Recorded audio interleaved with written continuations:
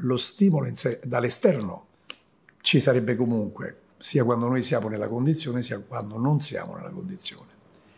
Ma se non siamo nella condizione, lo stimolo da interessante e specifico perde quella proprietà e diventa uno stimolo sostanzialmente neutro.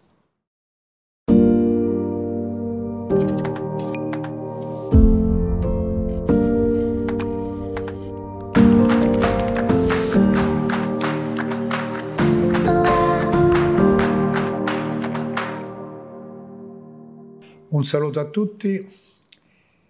E, um, oggi abbiamo un argomento, penso, di una certa importanza. È l'argomento delle ondulazioni e del calo, diciamo un'ondulazione verso la discesa, così, del desiderio eh, sessuale, del desiderio proprio di avvicinamento fisico, diciamo, all'altro cala il desiderio sessuale in senso stretto, ma adesso che cos'è il desiderio sessuale va detto? È questa spinta naturale, ehm, bella, molto positiva, ad avvicinarsi alla persona che amiamo. Che cosa comporta? Che, quali sono le cause delle ondulazioni? Quindi l'ondulazione è, appunto è una irregolarità, una diminuzione, possiamo dire, una, quindi una riduzione di frequenza di circostanze in cui lei o lui desidera sono disponibili in un modo autentico verso lui o lei. Una prima cosa che viene in mente da precisare è quali sono le cause. Ci sono cause, potremmo dirle, dire, un po' indirette, possiamo dire, quindi non sono direttamente legate alla relazione tra lui e lei, ma e sono legate, sono un effetto indiretto, un effetto di altro. Che cos'è quest'altro? È la, la condizione, possiamo dire, organismica. Che vuol dire? È la condizione in cui il proprio corpo, il proprio sistema psicofisico si trova.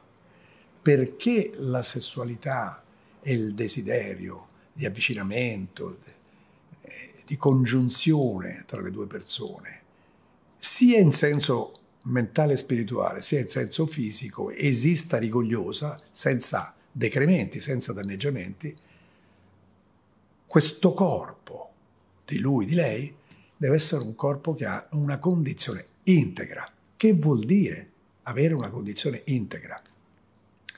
Vuol dire che il corpo è riposato e pieno, pieno, pieno di risorse neurochimiche, cioè di neurotrasmettitori, tutti i neurotrasmettitori più importanti, alla serotonina, alla dopamina, non so che posso dire, all'acetilcolina, all'adrenalina, alla noradrenalina, diciamo i 5-6 più noti, ma ce ne sono molti altri che sono meno noti. E una volta un, uno studioso, un neuroscienziato mi disse che ci sono 200 almeno tipi di neurotrasmettitori. Allora, eh, quando l'organismo è in condizione di pienezza, è in condizione di apprezzare, valorizzare, quindi ricevere realmente lo stimolo interessante. O meglio, lo stimolo sé, dall'esterno ci sarebbe comunque, sia quando noi siamo nella condizione, sia quando non siamo nella condizione. Ma se non siamo nella condizione, lo stimolo da interessante e specifico perde quella proprietà e diventa uno stimolo sostanzialmente neutro. Questo va, va saputo. Quindi bisogna fare attenzione perché a sapere questo significa anche non fare errori che aggravano e che confondono e che comportano altri danneggiamenti successivi. Se io non so che la mia condizione è alterata, io rilevo soltanto la conseguenza, una delle conseguenze, perché la perdita del desiderio è soltanto una delle conseguenze. Come potrei io rispondere? Che cosa può succedere dopo che ho, ho fatto questo rilievo? Mi sono accorto che, del calo del desiderio. Eh, potrebbe succedere di peggio. Qual è? Cos'è peggio? Peggio è la, darsi una risposta, una, darsi una spiegazione del calo del desiderio che sia errata. Mi spiego. Il, la, la spiegazione più sbagliata quando la causa è altrove è quella di attribuirla alla, all'amore nostro che è sparito, oppure attribuirla all'altro che è cambiato, non so che è successo, è diverso, non sento più. Ecco. Questa è una complicanza, possiamo dire, del, della condizione precedente. Oppure in, per qualche persona un'altra conseguenza potrebbe essere di attribuirsi, diciamo, come posso dire, un, una responsabilità nel calo del desiderio, cioè una responsabilità, dire, c'è qualcosa in me che non va, c'è una patologia che mi sta succedendo. Ecco, ho, ho portato due, due tipiche conseguenze. Allora, una causa quindi è quella che abbiamo indicato. La seconda, eh, la seconda è più specifica, è legata proprio a questo rapporto. La seconda è legata a quello che è accaduto, quando una sola volta, beh, se è molto grave, una sola volta può troncare il desiderio. Molto grave, molto grave. Troncare il desiderio temporaneamente, non chiudendo la possibilità futura, diciamo, di recupero, anche rigoglioso, anche completo, anche addirittura in, in, in crescita e in superamento di quello che era l'equilibrio sessuale e potenza sessuale del desiderio precedente. Ecco.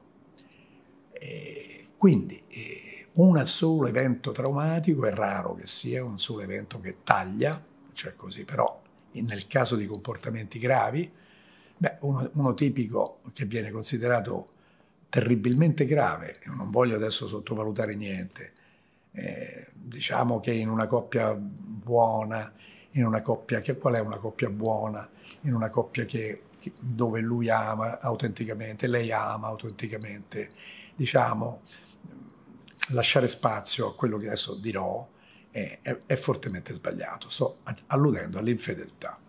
Ecco, l'infedeltà. Eh, quale sarebbe il motivo dell'infedeltà valido per due che si amano?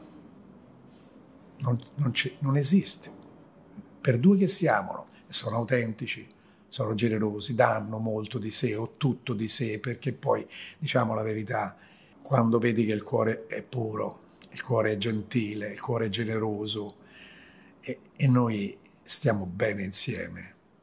Non c'è ragione di infedeltà valida. Quindi questa potrebbe diventare una causa, così quando scoperta all'improvviso, quando affiora, una causa del, così, o dell'innalzamento, a questo punto direi disordinato, non voglio usare la parola patologico, ma insomma più o meno possiamo dire eh, ci sia un innalzamento, cioè mi cresce il desiderio quando l'altro perde il requisito, quando l'altro si comporta eh, compiendo azioni, autorizzando azioni eh, che danneggiano, che infrangono, io direi anche possiamo usare in questo, te, in questo caso il termine offendono la nostra storia, offendono la nostra relazione. Quindi non sto dicendo offendono me soltanto, il danno è su di me, su di me, a un certo punto anche relativo. Io direi che il danno è proprio sulla relazione. Perché ho detto che il danno su di me è relativo? L'ho detto perché se io mi proteggo, so proteggermi, mi sono protetto fino adesso, eh, nel, ho protetto la mia condizione ordinata, la mia condizione fisiologica anche da un punto di vista psichico e spirituale, che può farmi l'altro? Se io invece non ho protetto bene me stesso, ho alimentato fragilità, vulnerabilità, l'altro può destabilizzarmi fortemente. Quando il danneggiamento avviene progressivo, progressivo come? Eh, ma arrivando a violare, arrivando a, a, a rompere l'armonia, avviando, così ripetute azioni che offendono, che feriscono, che non trascurano, che sono sottrazioni di quello che prima veniva dato, che per carità veniva dato, era un dono già, quindi non può essere preteso, nessuno può allungare artigli per pretendere l'amore, questo lo stiamo spiegando in tutti i modi, esistono tanti modi di violare, eh, comunque in comune che cosa hanno, che, che l'altro un po' si è un pochino è entrato, è stato avvolto dalla nebbia, è stato un po' ombreggiato, messo in ombra. Questo, se comincia ad avvenire con qualunque essa sia la giustificazione, perché secondo me una piena giustificazione non c'è, perché anche se un uomo è, è carico di, di, impegni, di stress, di, di, di responsabilità, basta nulla per far sentire all'altro che ci sei, pochissimo ma quel nulla arriverà e sarà credibile se ci sarai veramente e non sarà un trucchetto, possiamo dire, per, per, scava- per cavarsela in qualche modo e per, e per così tenere l'altro lì. Potrei dire a disposizione, lo sappiamo che la, una delle condotte più gravi è la condotta dell'ipocrita, dell'ipocrisia, dell'ambiguità, della falsità coperta bene, anche da, da smart, da svelto, da svelto, un tipo svelto, smart. No, no.